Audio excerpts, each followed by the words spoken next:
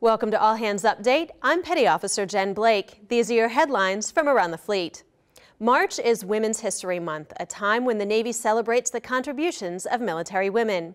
Women's History Month originated in 1978 as Women's History Day. All commands are encouraged to raise awareness of the impact women have made in the military. You can read more about women's history on the Women's History Month website.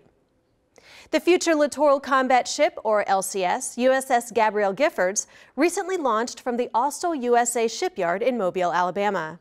This is the third Independence variant of the LCS class and is named after former United States Representative Gabrielle Giffords. It is the 16th U.S. naval ship to be named for a woman. Gabrielle Giffords is scheduled for delivery to the fleet in 2017.